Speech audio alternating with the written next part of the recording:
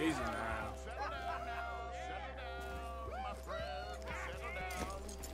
Because we are here today for a very special occasion. It is imperative that we reestablish sanity and supremacy before it is too late. Our numbers are waning. Thanks to the fools in Congress and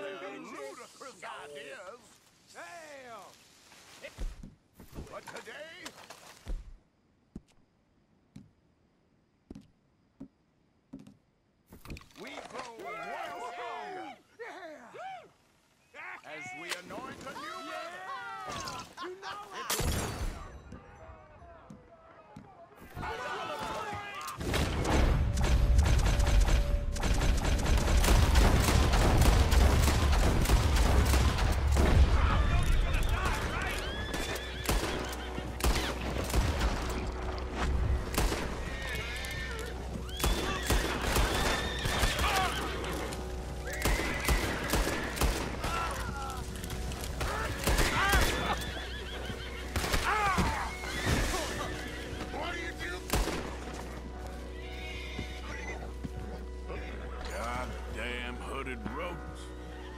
kill all you bastards.